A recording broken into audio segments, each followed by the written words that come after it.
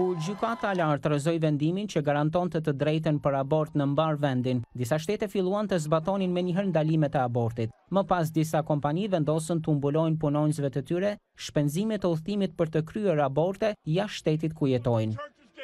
Edhe përpara nxjerrjes së vendimit, kompania Starbucks i siguroi punonjëset se plani i tyre i kujdesit shëndetësor do të përfshinte mundësinë e mbulimit financiar të udhëtimit për arsye mjekësore për të patur qasje për abort.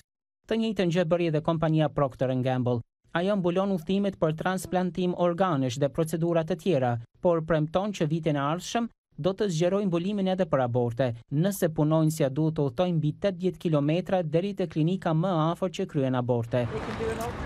Kur Teksasi ndaloi shumicën e aborteve, udhëheqësi i kompanisë Salesforce ofroi të zhvendoste punonjësit e tij në një shtet tjetër. Ligjet e reja në shtete të ndryshme që ndalojnë abortin e trajtojnë si vepër penale këdo që ndihmon ose nxit abortin. Disa vlerësojnë se këto ligje përfshijnë edhe kompanitë e sigurimeve shëndetësore, ose drejtuesit e kompanive që ofrojnë qasje për abort.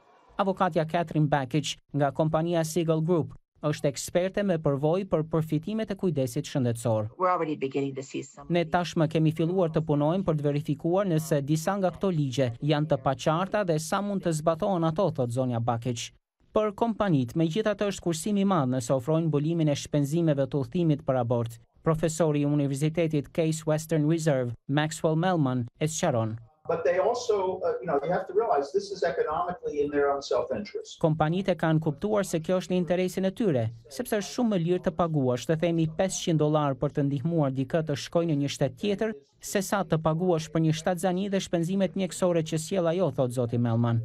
Drejtorja ekzekutive e kompanisë për prodhime sportive Dick's, Lauren Hobart, u zotua publikisht të sigurojë deri në katër mijë dollarë për shpenzimet e udhëtimit për abortin.